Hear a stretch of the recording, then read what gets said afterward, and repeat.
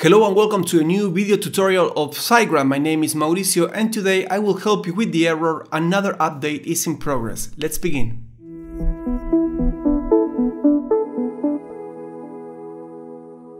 First of all, don't be afraid because it's a simple problem that we can fix in no time, but it's important to know why and when could happen this problem.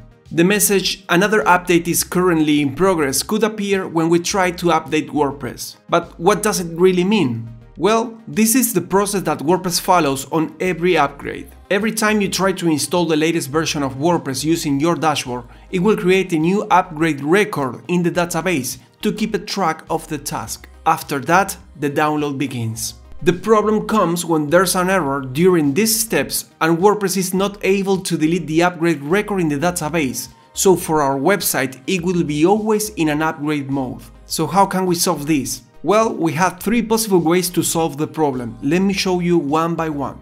Restore a backup. We've got your back with the automated backups you can restore from SiteTools. To do that, I recommend you to watch our video How to manage my backups in SiteGround SiteTools, where I explain with more details the steps you have to follow to restore that information. Delete the record using phpMyAdmin. To manage the database of your WordPress, you will have to access your SiteGround account. Once the SiteTools dashboard is loaded, click the MySQL link in the site menu. In this page, you will find all the information to connect to your database with any MySQL client, but also we can use the tool phpMyAdmin, just clicking the Access phpMyAdmin button. In this example, I only have one database, but depending on the amount of WordPress installation or staging copies, you could have more than one database. That's why it's important to identify in which one apply these changes. Just select one database and then click the Options table. In the first row, you will see a record with the site URL name. If it corresponds to your site, then click in the SQL tab and paste this SQL command that you can also find in the description of this video and then click the Go button. Please keep in mind that you can have another prefix for your tables. If so, change the SQL query to match the name of it. This command will show the row or record for the WordPress upgrade.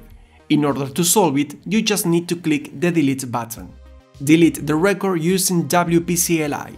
Now let's see the WP-CLI approach. For this solution you will need to have access to your server via SSH. In this link, you will find all the documentation to configure this tool in your SiteGround account. Once you have configured your SSH connection, connect to your server and go to the folder of your WordPress website. In that specific folder, run this WP-CLI command. As you can see, this command deletes that specific option from the database. After following any of these solutions, you'll be able to upgrade your WordPress theme or plugins without getting any problem. I hope this video helped you to solve the problem. If so, consider subscribing to our channel to learn more about our tools and much more content we have prepared for you.